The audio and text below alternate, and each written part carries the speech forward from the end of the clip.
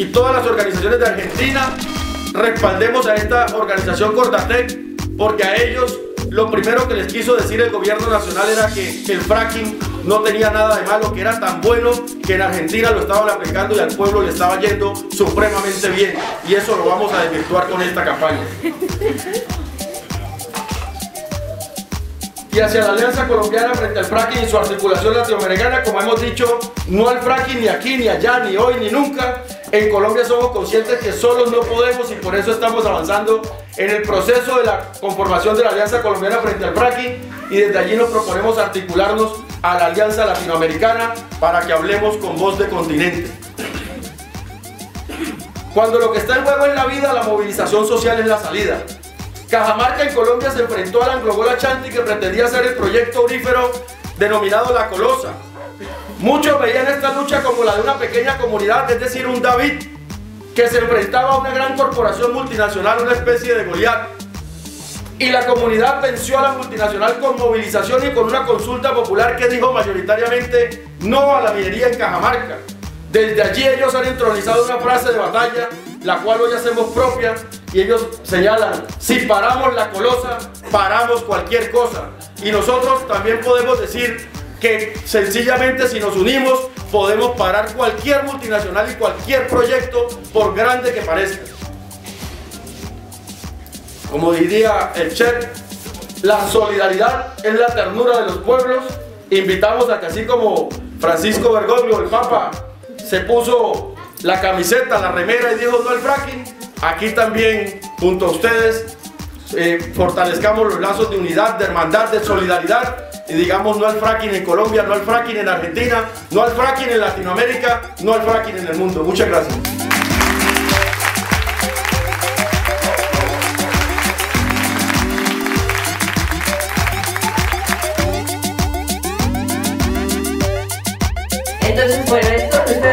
Viviendo, nosotros lo, lo vivimos desde 1926. Y pues bueno, esto generó toda una cultura en torno al petróleo, ¿no? Este, ahí eh, pegado a Papantla está otro municipio que se llama Poza Rica y que se llama Poza Rica porque surge, se construye justo en torno al pozo. No había nada en ese territorio, encuentran que hay petróleo, empiezan a construir los pozos y en torno a los, a los pozos empiezan a surgir las casas, las escuelas, los centros comerciales, etc. ¿no? Entonces, bueno, ahí está una de las imágenes emblemáticas. Bueno, el, pozo del centro es el primer pozo en Poza Rica. Y una de las imágenes centrales de la ciudad de Poza Rica, pues ahí están los petroleros, ¿no? Este, la fiesta eh, del pueblo es la fiesta petrolera, que está patrocinada por Pemex, que es la compañía petrolera en México. Y pues bueno, toda una cultura que gira en torno al petróleo, ¿no? Eh, bueno, les comentaba del Palio Canal que se descubre en 1978 y que era de, difícil acceso. Para 2006, ya han pasado algunos años, el Palio Canal cambia de nombre, se le, convierte, se le llama ahora aceite terciario del Golfo. Y en este momento, pues bueno, eh, se decide Pemex, que es la compañía petrolera en México, así como IPF en, aquí en Argentina hace las veces, eh, da algo que no, sucede algo que no había pasado antes en México, que empieza a abrir la entrada para el capital privado para que pueda hacer eh, convenios y contratos con las compañías privadas y puedan eh, hacer exploración y extracción de hidrocarburos. Entonces, bueno, como aquello del Palio Canal estaba tan complicado para Pemex, deciden que, ¿por qué no? Vamos a investigar y qué tal que, a ver cómo nos va con, con los privados y experimentamos justo en esta región del Palio Canal de Chicotepec entrar hacia los eh, no convencionales, ¿no? Esto provocó pues grandes cambios sociales en la región, no solo ambientales, sino cambios sociales que tienen que ver muchísimo con los cambios que se dan en el tejido social y comunitario, ¿no? Entran nuevas tecnologías y bueno, entran otras cosas, ¿no? ¿Qué es el, el Palocanal del Chicontepec o el ATG? Es nada más y nada menos, decía Pemex, el 40% de las reservas de México. Lo igualaban a Cantarel, que Cantarel es la reserva más importante que había en México, ya se estaba agotando, y entonces decían, pues el Chicotepec, el Paleocanal, es mucho más potente que, que Cantarel, ¿no? Entonces por eso era tan importante. Ahora, eh, el Paleocanal de Chicotepec o aceite terciario no solo está en Veracruz, abarca nueve municipios de Veracruz, que ahí están enunciados, y son tres municipios más de Puebla. Eso es justo el territorio del Paleocanal, y que son casi 4.000 este, kilómetros cuadrados. En 2010 eh, saca la Comisión Nacional de Hidrocarburos saca un informe que justo que dice que el fracturamiento hidráulico es la pieza más importante para que el paleocanal pueda funcionar y para que sea productivo y rentable. ¿no? Este, pero que para esto se tenía que hacer miles de fracturas y además un proceso de este, revisar qué técnicas funcionaban mejor. Eh, um, bueno, pues se piensa en, perforar más de 1737 pozos que habían sido fracturados y bueno, vamos a este. En 2009, por ejemplo, ya tenían laboratorios de campo para estar analizando la producción de los, de los pozos de fracturamiento que había justo en Veracruz. Ahí están los lugares donde estaban los laboratorios de campo, ¿no?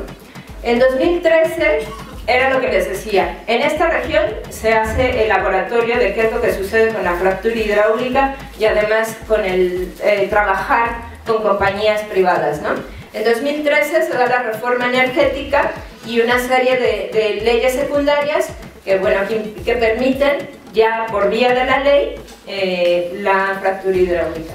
Y además se da algo que es el plan quinquenal, que es en sí eh, determinar los polígonos donde se, donde se prevé realizar eh, este, extracción, exploración y extracción de hidrocarburos no convencionales, pero también de convencionales, que era lo que decía Claudia. Ahorita, por ejemplo, apenas se van a, se van a aprobar eh, las licitaciones para tanto convencionales como no convencionales. ¿no?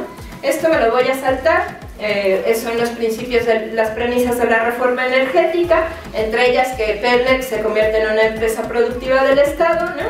Eh, en donde justo una de las cosas que sucede con la reforma energética es, vía una reforma energética se da una reforma agraria. ¿no? ¿Por qué? Porque a partir de esta reforma energética se dice que eh, todos los hidrocarburos son de orden, eh, de orden social, de interés social y de orden público y que no importa lo que suceda arriba, eh, arriba de los hidrocarburos, porque lo importante es lo que hay debajo. ¿no? O sea, que si hay una escuela, que si hay una zona arqueológica, que si hay un, este, una milpa, que si hay eh, lo que sea, al Estado no le va a importar lo que suceda ahí, lo que le importa es explorar o extraer los hidrocarburos.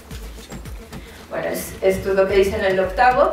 Y bueno, y algunas de las eh, formas en que se quiere despojar a los territorios es a través de figuras como la servidumbre voluntaria o servidumbre legal, que en sí es cuando una comunidad se niega a que se instalen eh, pues, los pozos o que se haga exploración, el Estado va a decir a mí no me importa, porque lo más importante es la extracción de los hidrocarburos y te voy a forzar a que dejes tu territorio para poder hacer esto. Y bueno, ¿cuáles han sido los efectos? Esto es una comunidad de Papantla y el letrero dice Pemex desde 1955 contamina y destruye nuestra comunidad. Exigimos soluciones. Entonces, ahí están parte de los efectos. ¿no? Eh, bueno, esto es de fracking lo que les decía es, las compañías que entraron en, el ATG, entre ellas estuvieron Halliburton, Schlumberger, Baker Hughes, que tal vez les suenen, ¿verdad? Conocidas. Ahí está el número de pozos de fracking en México.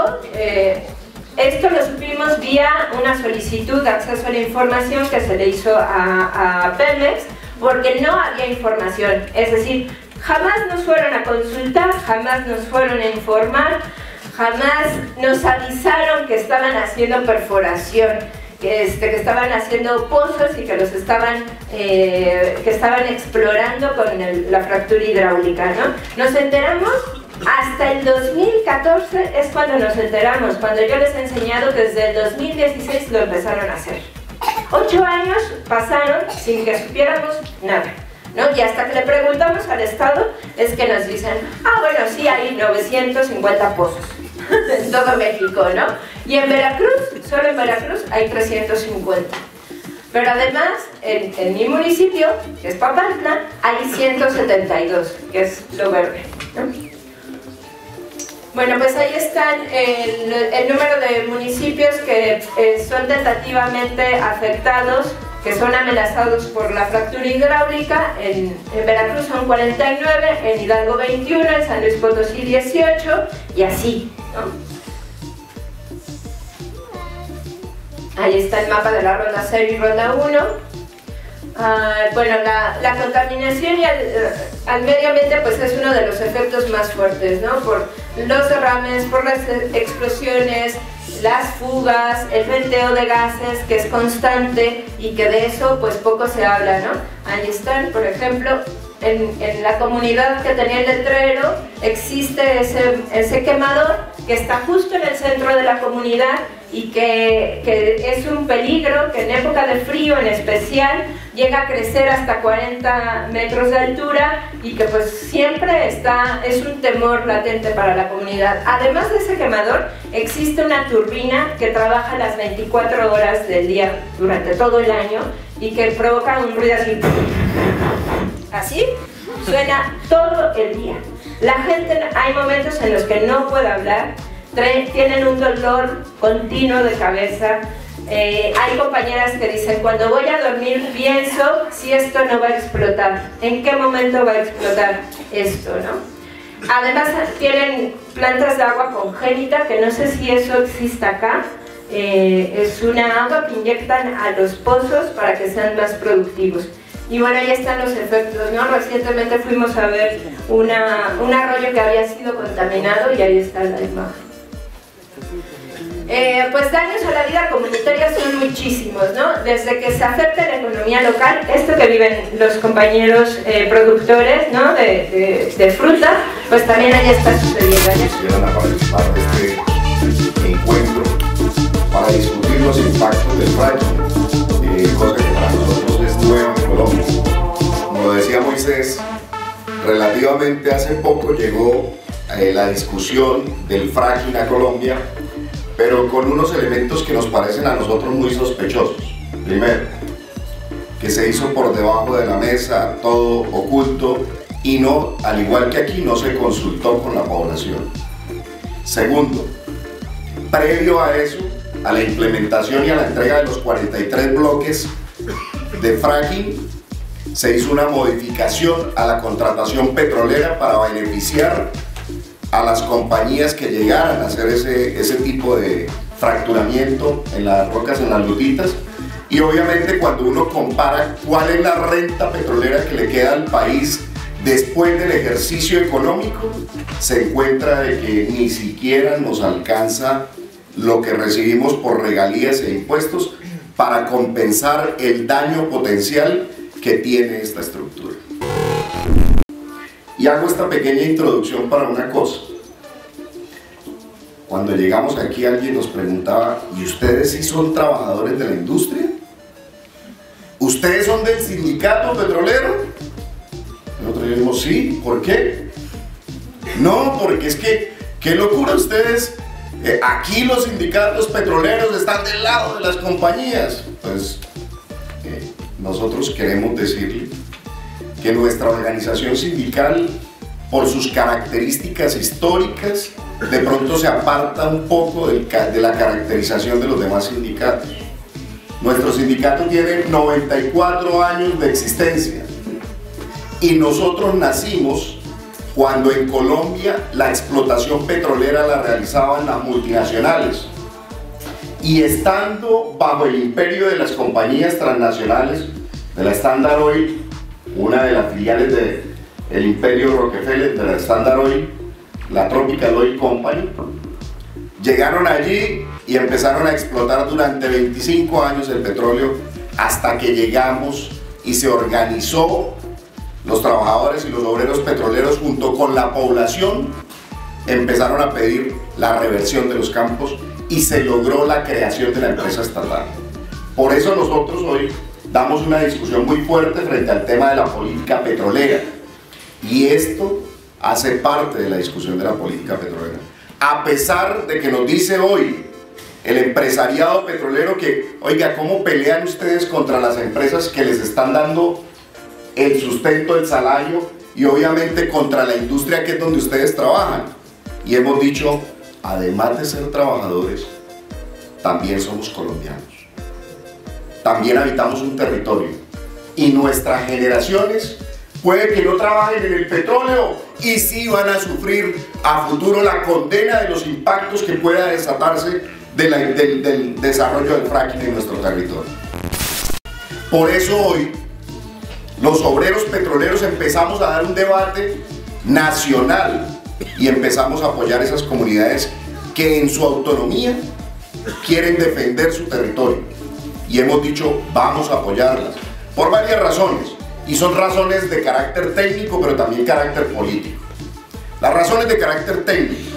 Oye, ¿cómo vamos a permitir que en nuestros territorios, en nuestro país que es tan rico hídricamente y, y, en, y en materia de biodiversidad, se haga explotación de fracking o la utilización de fracking en lutitas cuando ni siquiera, y escuchen bien este, este, este artículo, no tenemos censado el 70% de los acuíferos subterráneos que tenemos en nuestro país.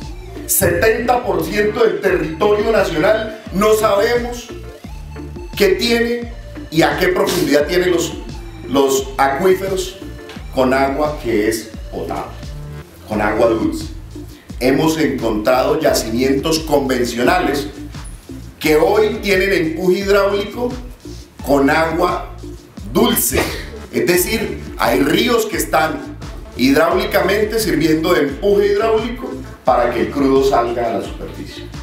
¿Eso qué indica? Que muy seguramente en ese 70% de las áreas que no conocemos pueden existir fallas geológicas, pueden existir conexiones entre las lutitas y sellos que no estén muy bien formados tengan fallas geológicas y por ahí se haga la migración del gas o del petróleo y contaminen nuestros acuíferos. Ese es uno de los elementos que nosotros le hemos planteado al gobierno y a las multinacionales y que no nos lo han podido rebatir. No se tiene certeza de ese atlas que deberíamos tener o ese inventario de esa, de esa riqueza subterránea. De otro lado, está el tema político, que ya lo decía. ¿Qué le está quedando al país de la explotación de los yacimientos petroleros? Si hoy con los yacimientos petroleros, eh, digámoslo convencionales, el país está recibiendo aproximadamente el 42% en los contratos de concesión, el 42% de la renta petrolera en los nuevos contratos de fracking, ese valor incluso va a caer. Entonces, ¿de qué nos sirve sacar con afán ese petróleo, ese recurso, si después tendremos que sacar es para pagar el impacto que va a tener eso? Tercer elemento. El fracking va a competir contra, contra la agricultura y contra la vida. Las zonas en donde se va a desarrollar existen acueductos que se alimentan de aguas subterráneas y la captación de esas aguas subterráneas muy seguramente se va a ver afectada. Y yo creo que la visita aquí a Argentina, porque por primera vez vengo aquí a Argentina y, y tuvimos la oportunidad de conocer estos procesos, nos abre un poco más la visión. Nosotros estábamos en un debate técnico, económico, pero no habíamos visto ese referente. De hecho, las multinacionales, cada vez que entramos en la discusión en el Congreso de la República, donde hemos llevado el debate, nos dicen, miren Argentina, Argentina es el mejor referente, los trabajadores se pelean para que lleguen las empresas a sus territorios a trabajar, porque el fracking no, no tiene impacto, porque el fracking genera empleo, porque el fracking genera desarrollo en la economía regional. Y lo que estamos viendo aquí es una realidad diferente. amenazando, amenaza, el fracking amenaza la economía local. Y eso lo tenemos claro. Cuando llega la explotación petrolera a una zona como esta y empieza a dinamizarse, las, los cultivadores pequeños o los agricultores no cuentan con mano de obra porque nadie quiere trabajar con los salarios que se tenían en el agro y quieren todos ser trabajadores petroleros. No petroleros, porque algunos dicen, ah, es que yo soy petrolero. Petrolero, uy, y esos que sí tienen pozos petroleros. Nosotros somos trabajadores de la industria del petróleo. Eso para hacer la claridad, ¿no? Porque algunas veces uno dice, ah, ya el petrolero ese. No, trabajadores de la industria del petróleo. Y en ese sentido, sabemos que nosotros, y es lo que le exigimos a las empresas, incluyendo la estatal, aquí se debe jugar con el respeto, pero un respeto real a la responsabilidad social que deben tener esas empresas con la gente donde desarrolla su actividad. Y el primer elemento de la responsabilidad social es hablar con claridad y verdad. No tapar y decirle mentiras porque más rápido cae un mentiroso que un cojo, dicen en, dice un adagio popular. Más rápido cae un mentiroso que un cojo. Y ustedes ya lo están demostrando.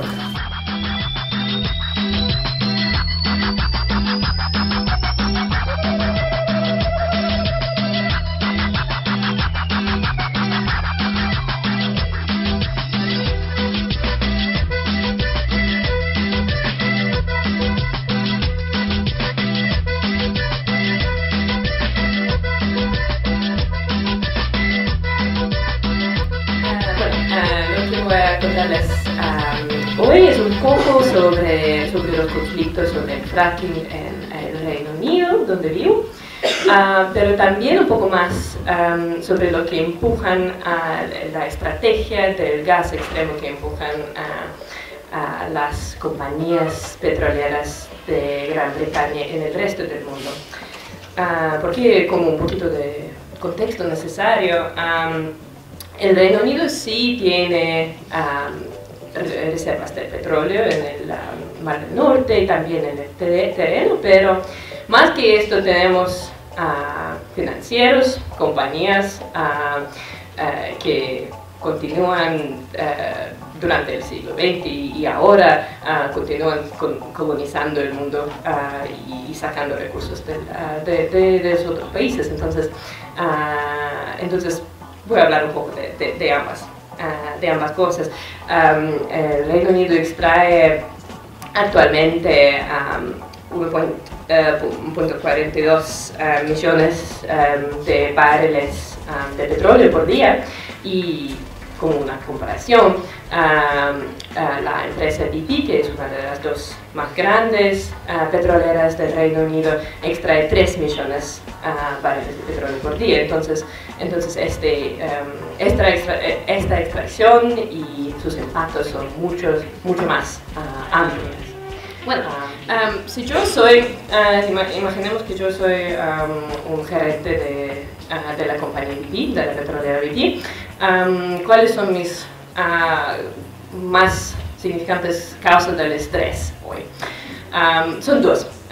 una es que, que pienso que otras personas acá han, mencionado, ah, que se están adoptando descubrimientos del petróleo fácil, del petróleo y gas convencional en el mundo, entonces tengo que ah, ir avanzando con, ah, con cosas más arriesgadas, tal como el fracking, tal como la extracción del petróleo en en profundidades más grandes en el mar y otras.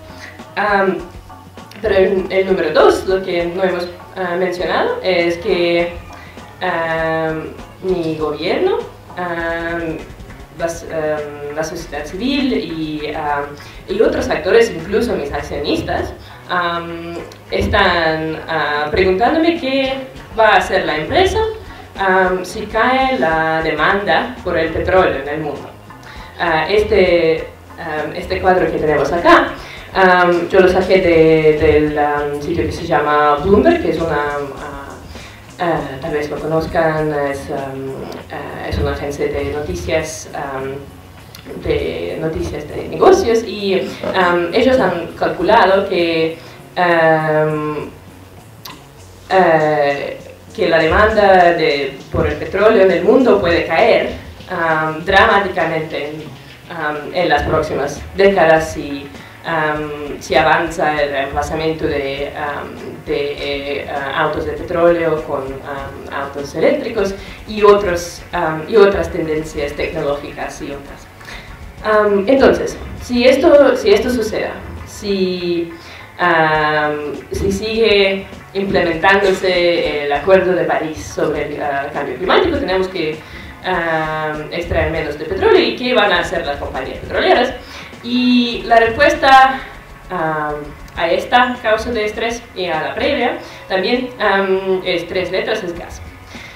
es gas no convencional, es fracking, pero también es gas convencional.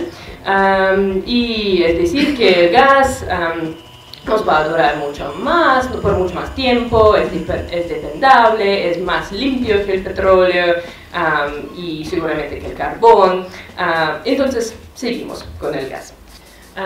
este es el mapa de, ah, de, las, ah, de los depósitos supuestos del de, gas shale, en gas de en, ah, en el Reino Unido. los áreas en azul son licencias que, ya existen o, eh, áreas donde, donde ya, ya hay contratos ah, para perforar y, ah, y áreas en, en, el rojo son áreas bajo consideración. En, hace dos años el gobierno del Reino Unido otorgó 139, pienso, licencias más ah, para explorar el, el, gas de lutita, para, para, para explorar el fracking. todo esto, el argumento del gobierno es un poquito como acá, es, es un argumento sobre uh, la soberanía energética. El gobierno dice, el ex primer ministro David, Cameron dijo que, ah, por ejemplo, Ah, que van a bajar las facturas de, electricidad si, si, vamos avanzando con el fracking. Lo que claramente no es cierto porque, porque el gas que se produce en el Reino Unido se vende en el mercado común europeo, así que, así que los precios son, son de este mercado, no, son, no tienen nada que ver con ah, cuánto, cuál cantidad de, de gas extraemos. no obstante, seguimos con, estas licencias, con estos contratos. Ah, incluso ah, el año pasado el um, Parlamento del Reino Unido votó por um, ah, permitir el fracking dentro de parques nacionales.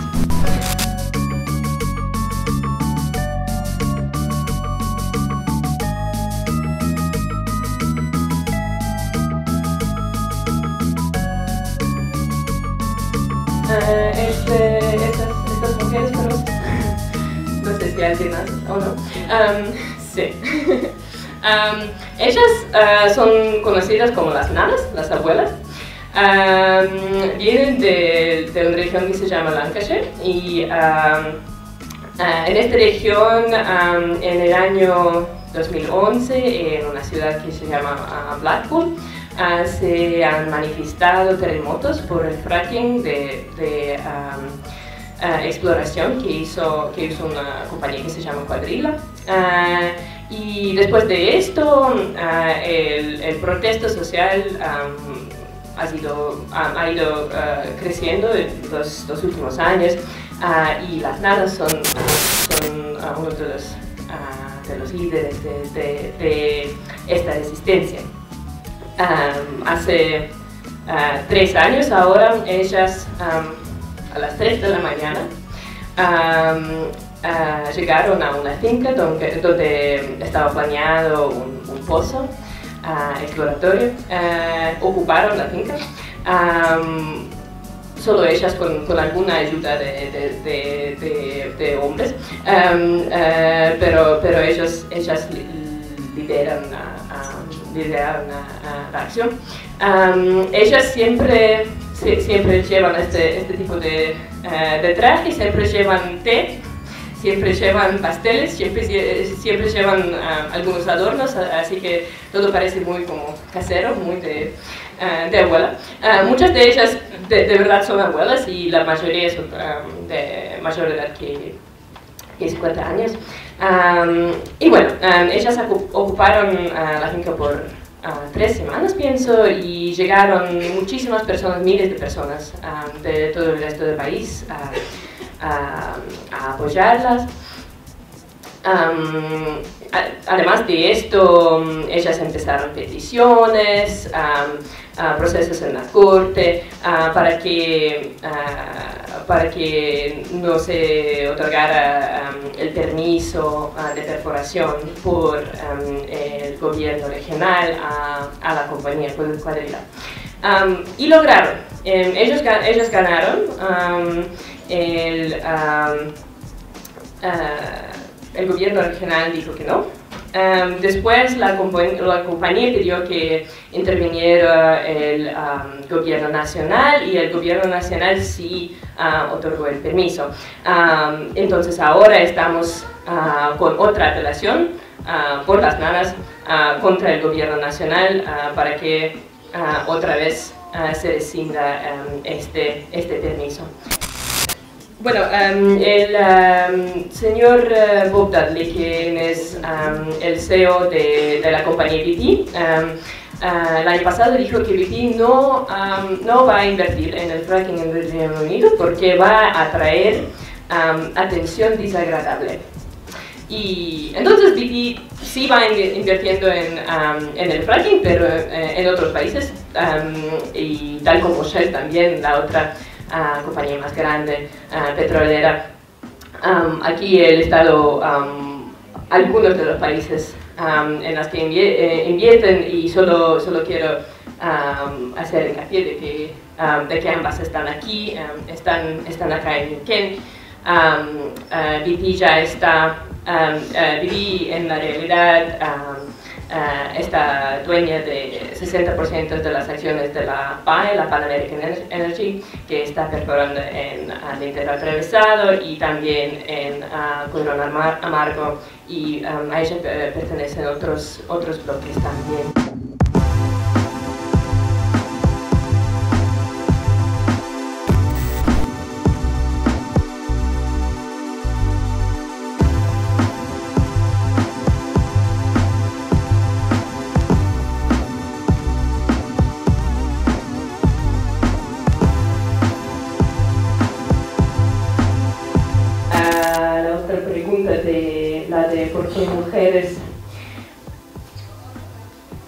Pienso que necesitamos mujeres en el frente, en posición de liderazgo y acá, también me parece que, que, hay muchísimas muy fuertes.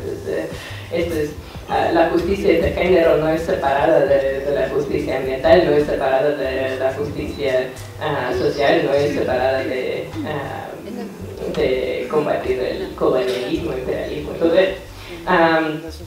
y bueno, tenemos el Reino Unido tiene los privilegios de ser eh, un país rico que saca recursos de los otros países, tal, vez por eso ah, tenemos la posibilidad que, uh, que suceda este, um, este victoria y sea más fácil. Creo que en todo el mundo se está planteando ese mismo, ese mismo interrogante.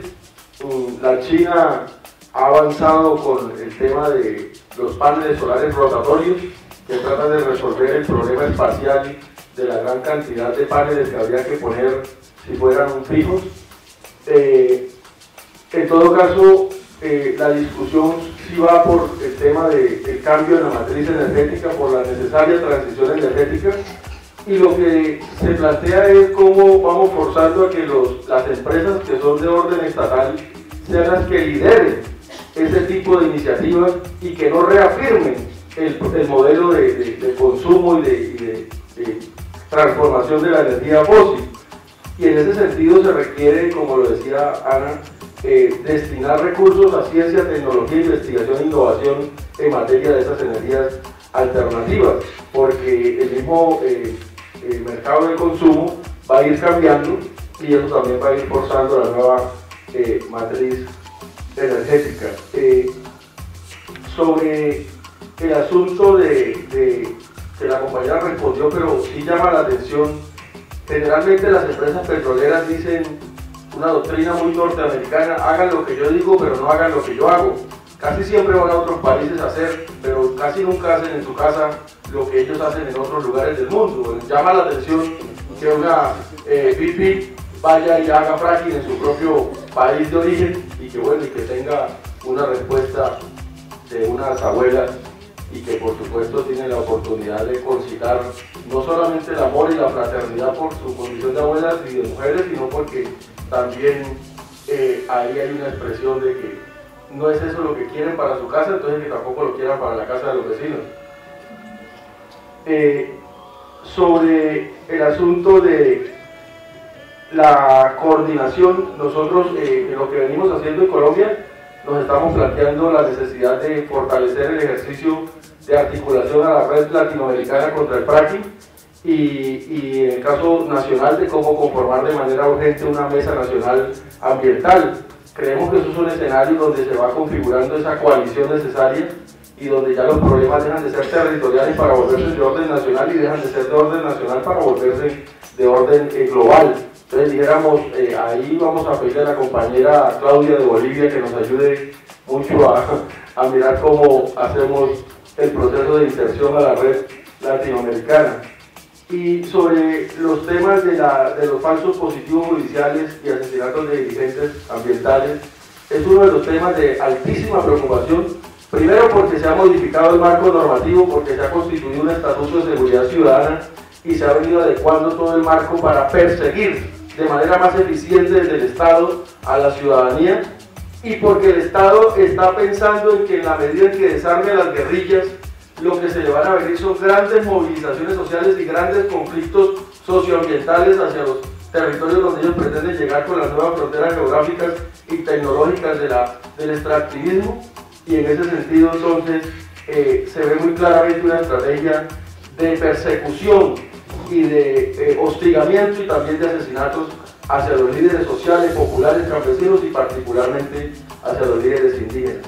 Esa es parte de una realidad que hoy estamos afrontando en Colombia y lo cual solamente podrá ser eh, posible eh, neutralizarlo y revertirlo en la medida en que encontremos la capacidad de unirnos, de organizarnos, pero también de denunciar y de hacer mucha red de solidaridad internacional si, si Berta Cáceres nos duele, eh, es decir, ese puede ser un símbolo de lo que es el dolor que puede significar para cualquier ciudadano del mundo el que asesinen a un líder ambiental en cualquier parte donde ello sucede.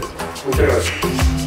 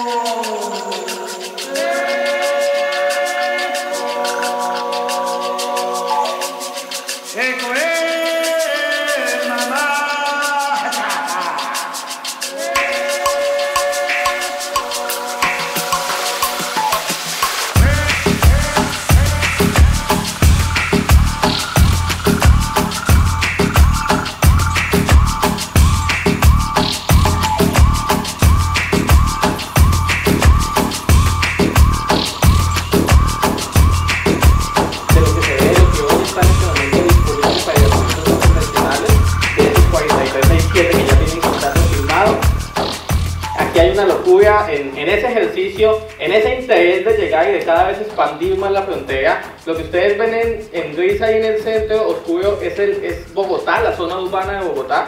Lo que está a la derecha en verde es el páramo de Chingaza que le produce el 80% del agua a Bogotá. Lo que está al sur es el páramo de Sumapaz, que es el páramo más grande del mundo. Y lo que está en morado oscuro, eh, en violeta, son los bloques disponibles para yacimientos no convencionales, según información oficial de la Agencia Nacional de Hidrocarburos. O sea, en este momento el fracking representa incluso una amenaza para Bogotá, para las fuentes de agua y para muchos territorios en el país. Estos son algunos mapas, el mapa de San Martín. Esta es una imagen del corregimiento de Pitalimón para que ustedes entiendan la dimensión de lo que se quiere hacer allá. Se quiere hacer fracking en una zona, de, una zona que tiene eh, eh, ciénagas y humedales, que tiene una biodiversidad de fauna y flora y atentando claramente con esta biodiversidad. Hemos hecho marchas, acciones de movilización, como ustedes lo estaban viendo en, el video, en los videos Tuvimos una segunda jornada nacional muy similar a esta, llevamos varias personas, Claudia de México estuvo con nosotros, Hernán de acá de Argentina estuvo con nosotros allá en Colombia. Hemos hecho diversas acciones de movilización y la respuesta ha sido pues enviar el SMART, que es la policía anti, antidisturbios, a, dispersar las manifestaciones y a que desde el mes de octubre ya se están adelantando operaciones de exploración en el Pozo Pico Plata 1 y somos casi que el municipio de San Martín es el conejillo de indias para aplicar el fracking en el país. De lo que pasa en San Martín depende la implementación del fracking en Colombia. Eso ha ocasionado amenazas, todo lo que viene sucediendo, eh, un poco los temas de paz de los que hablaba Moisés, de, de lo que estamos recibiendo las comunidades. El tema ha sido visible en medios, los medios más importantes del país ha llegado y han empezado a plantear la discusión frente a este tema de fracking en el Congreso de la República. Congresistas de diferentes partidos también han estado con la, con la causa, hemos tenido la posibilidad de denunciar en algunos escenarios internacionales, actores y actrices de todos. Eh, esa foto que ven ahí un poco ya para ir cerrando es la foto del equipo de la corporación. Yo hoy estoy aquí teniendo la voz por ellos y por ellos, pero es un equipo en su mayoría jóvenes que están en el territorio allá defendiendo el agua y que han entendido como muchas y como muchos de ustedes, que hay un principio innegociable que no se puede vender definitivamente y que no, eh, al que no estamos dispuestos a, a cerrar. Yo simplemente cierro con una invitación que hacía ayer en el escenario que teníamos en la universidad, tal vez algunos de ustedes vinieron, pero hoy quiero reiterar el mensaje, y es que es muy valioso encontrar un público joven eh, en su mayoría, pero también personas de diferentes clases sociales, de diferentes organizaciones o interesadas por, por la defensa del agua y del territorio. Eh, creo que las esperanzas no solo de las personas de Neuquén están puestas en ustedes, sino las esperanzas de Neuquén, las esperanzas de Argentina, las esperanzas de Colombia, las esperanzas de México, las esperanzas de muchas y de muchos están puestas en ustedes. Pero es muy importante que entendamos el compromiso y el momento histórico en el que estamos en este momento en Neuquén y en Argentina. Aquí ustedes, el proyecto ya está avanzando. Hoy estábamos, tuvimos la posibilidad de visitar las chacras allá y veíamos y yo decía esto es un espejo porque nos contaban y nos decían aquí ya se contaminó, aquí ya las napas, los acuíferos fueron contaminados, aquí ya han habido derrames y es lo que nosotros en Colombia nos preocupa, lo que a las compañeras en México les preocupa y lo que en muchos otros países también donde están en esta lógica de ampliar la frontera eh, también les preocupa. Entonces es esa invitación y les, les, por último les cuento una anécdota que la conté en Buenos Aires y con esta ya cierro, eh, estábamos Moisés y yo dando el vuelo de Bogotá hacia acá, hicimos la fila de inmigración los dos al tiempo, pasa él, paso yo, y cuando yo llego, él me dice, pues usted qué, lo iban a dejar no lo iban a dejar pasar o qué, y yo le dije, no, es que yo llegué, el oficial de inmigración me pregunta para dónde voy, yo le digo que para Argentina, me pregunta qué a qué, yo le digo que es un evento de fracking y yo aproveché y le conté qué es el fracking, cuáles son los daños que causa, y le eché el cuento al oficial de inmigración completo, que el fracking, que mire, que esto, que ojo, que usted que tenía una botella de agua, yo le digo, pues es que vea el agua está amenazada, y él quedó como así, yo le dije, bueno, ahora tiene usted que contarle a otros. Entonces la tarea que tenemos cada una y cada uno de los que estamos hoy en este auditorio, en este escenario, es como unas hormiguitas juiciosas replicando la información cada vez que suban al bus, cada vez que se encuentren alguien en una cafetería, cada vez que en cuanto oportunidad tengan, háblenle a las personas de Neuquén, de los municipios vecinos, del riesgo que, que, que significa y que por favor por ninguna, por ningún dinero del mundo estén dispuestos y estemos dispuestos los hermanos de Latinoamérica a cambiar nuestra agua por petróleo por unas monedas sucias, llenas de sangre y llenas de todo lo peor que puede traernos esta implementación de la técnica. Cierro con la frase que dijo Moisés, que dicen los compañeros de Cajamarca, si pagamos la colosa, pagamos cualquier cosa. Y hoy digo, si pagamos vaca muerta, pagamos cualquier cosa en América Latina. Muchas gracias.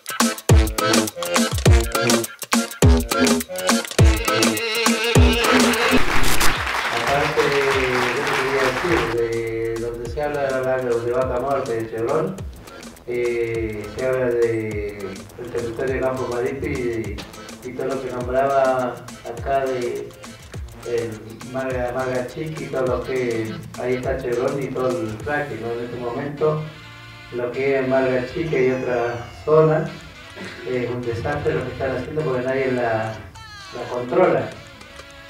Eh, respecto al al que algunos preguntaban por qué eh, nosotros perdíamos el miedo, porque cada, yo pienso como, como mapuche que cuando nos están destrozando nuestro territorio, nuestra mapa, nuestra tierra, nos están destrozando un pedazo de cada uno de nosotros, ¿no?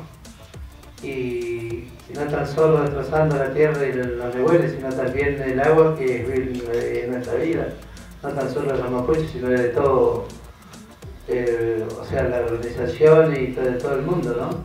Entonces, si, si todos unidos que podamos luchar, juntarnos, cuando hay una lucha, nosotros estamos rodeados de gendarmes. Por ayer estuvimos con rodeados con gendarmería. Y bueno, los invito que así sea la lucha para todos. Cuando tengamos la lucha, un pueblo mapuche, tendríamos que estar todos unidos para poder eh, organizarnos y luchar entre todos, no tan solo mapuches, sino también las organizaciones que están en estos momentos defendiendo la vida de los ríos, ¿no? Eh, me parece que si todos los unimos, vamos a ser más fuertes. Y yo me estaba, miraba las ñañas que le decimos nosotros, las ñañas que estaban ahí. Eh, me recuerdo que mi love, yo soy el único hermano varón, las demás son mujeres. Pero las ñañas que yo tengo en mi love, tengo un ejército de mujeres. Muy muy fuerte para defender y ellas me dan la fuerza para seguir adelante y, vamos para adelante, no vamos, no miramos para atrás. Vamos, vamos para adelante porque sabemos lo que estamos defendiendo, sabemos que estamos defendiendo nuestra mapa, nuestro nebuene, nuestra vida de todo, ¿no? Por eso no volvemos, nos damos paso atrás y no miramos para atrás, sino vamos para adelante. Y y así tenemos fuerza y tenemos fe eh, que nada nos va a pasar, pues somos todos seres humanos y policía o gendarmería también son seres humanos, nomás que tienen un poco más fuerza, pero los nehueles, nuestra mapa nos da fuerza para seguir y luchar nuestro territorio y, tenemos fuerza, por eso cuando nosotros siempre logramos que alguien se retire, siempre gritamos el marichihuevo, porque siempre 10 veces venceremos, o si caen 10, 10 lo levantaremos, ¿no? Eh, yo pienso que todo, como nosotros, uno pierde el miedo cuando nos están matando de a poco, ¿no? Porque si no lo defendemos cuando nos están matando nosotros, ¿quién lo va a defender? ¿Los gobiernos? Los gobiernos que lo que quieren que nosotros eh, cada día caigamos más, las multinacionales igual, los, petroleros, el petróleo. El petróleo es lo que nos está contaminando, contaminando y matándolo a poco, ¿no? Por eso es lo que nos da fuerza día a día para seguir nuestra lucha. Primero de trabajar. Sin permiso. Sin permiso ni del jefe ni de la provincia. ¿Con el permiso de quién entraron ustedes? ¿Quién dio permiso? ¿Quién le dio permiso? Teóricamente la provincia. Nosotros a través de la provincia encontramos la locación. Va a tener que parar todo porque nosotros estemos acá, en la provincia, ¿no? Usted está dentro del territorio, el punto del territorio que tiene ¿Cómo? El punto del territorio de la comunidad está, acá, está, en, está el borde aquel, sí. están adentro del territorio. Ajá. Fuera de aquel borde pueden hacer lo que ustedes les encanta, pero para acá no. Bueno, Así que la, la... La, la pará y la dejá que Sí, sí, lo que pasa es que nosotros, por ejemplo, dejarla en esa posición la podemos dejar, no, no, parala. pero párenla y paramos parala la y no, nos formamos y ya vamos bajando todo el tiempo. Sí, sí, no, no muevan nada. Listo. Ahora... Acá este... tenés lo que está con la, la provincia. Ajá. La y hasta que, que no, se termine esto con la provincia, con el ministro de Ciudadanía está la. Hasta que no den el ok o la red con la comunidad, no pueden hacer ningún movimiento, no muevan nada y no traigan más nada, porque lo van a tener que sacar si no van a la red católica. Sí, sí, la cena libertad no es que se baje la gente, ¿vale? Organizarse. O sea, cuando nos organizamos directamente con las vecinas y los vecinos es difícil, si nos organizamos con los demás lejos, con diferentes preocupaciones, eh, con diferentes formas de comunicarse, ¿no? Hay quienes les encanta el WhatsApp, hay quienes lo alucinan, prefieren el correo electrónico, prefieren el Facebook.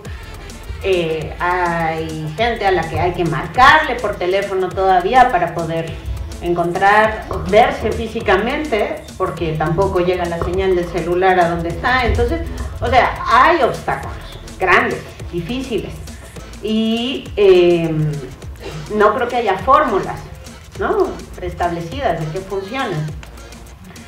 Eh, lo, que, lo que sí es una necesidad indispensable, porque si no nos organizamos estamos solas, estamos solos, nos aislamos. Entonces, eh, me parece totalmente eh, central que haya un- un- una reflexión, una discusión acerca de qué se necesita, cómo y cuáles son las bases de esa organización. O sea, hay que tener principios muy básicos de esa organización. Claro, estamos en contra del fracking y, un poquito también ponerle un poco de carne a eso, ¿no? ¿Eso qué significa? Em, y una parte indispensable de organizarse es estar siempre tratando de escuchar a la otra persona con la mente lo más abierta posible y el corazón lo más dispuesto posible, porque vamos a equivocarnos cuando nos expresamos, vamos a herir sentimientos, a veces no vamos a atinar a las palabras adecuadas, a lo mejor, a lo mejor a veces lo hacemos a propósito, porque estamos enojados, pero, pero también tenemos que saber que estamos del mismo lado. Porque si no estamos del mismo lado, si no nos podemos juntar con la gente que estamos del mismo lado, entonces simplemente no tenemos nada. O sea, estamos contra intereses económicos grandísimos, con una posibilidad de aliarse con las fuerzas políticas, con las fuerzas económicas, con las fuerzas policiales, ¿no? Estamos amenazadas, amenazados, todo esto. Y además nos peleamos entre nosotros y nosotros de verdad no. O sea, sí, sí es súper importante que cualquiera que sea la forma en que decidan, que piensen que, que es la manera de organizarse acá, que no puede ser trasladada de fuera, porque las lógicas son diferentes, sí tengan en mente esto, ¿no? Estamos del mismo lado, estamos por la misma cosa y vamos a escucharnos y vamos a tener en nuestra cabeza la premisa de a lo mejor me hirió, pero vamos a, a trabajarlo y a resolverlo y a lo que sigue, porque la lucha es conjunta y, necesitamos estar unidas. napas, como ustedes le llaman a los pozos subterráneos, contaminados, unos basureros que son las piscinas de tratamiento que se desbordan y han afectado el, terreno y las fuentes de agua. Y obviamente esto que nosotros estamos aprendiendo refuerza aún más la discusión que tenemos con el gobierno colombiano y con las empresas de la no utilización del fracking como una tecnología para desarrollar. Ya hoy, y seguro a ustedes también, así, a ellos ya les aplicaron la, la dosis. A ustedes les dijeron que se iban a quedar sin la posibilidad de contar con energéticos. Que el gas era urgente sacarlo porque si no nos tocaba meternos la mano al, al bolsillo y pagar las tarifas internacionales y hasta más caras. Como demostraron los compañeros del Observatorio Petrolero del Sur, del Sur, hoy ustedes están pagando más de lo que pagan a nivel internacional. Entonces, ¿de qué sirve? ¿De qué sirve dañar el territorio, sacar el gas para quién? ¿Para qué? Si están pagando más de lo que serviría o, o- o costaría traerlo de otro lado. Es una reflexión que nosotros estamos haciendo y obviamente en ese, en ese marco de ideas nosotros queremos decir que este aprendizaje que llevamos nosotros de ustedes lo vamos a reforzar en Colombia. Y vamos a seguir este debate porque creemos que antes que ser trabajadores somos habitantes de un territorio, somos ciudadanos y somos habitantes de un planeta que está hoy amenazado por toda una catástrofe ambiental que está generando el hambre de la riqueza, riqueza que no se reparte entre todos, sino que se concentra en algunos. Entonces, ¿para quién estamos sacrificando nuestros recursos, nuestra vida y el futuro de nuestra generación? Queremos eh, darles el mensaje de fortaleza, decirles que aquí la única salida, como lo dijeron algunos, la única salida que tenemos es unificar nuestras luchas porque las multinacionales están en todo el territorio de, América del Sur y obviamente llegan a los países tercermundistas donde se alían con los gobernantes vendidos para que les entreguen licencias y les hagan el trabajo sucio con sus comunidades.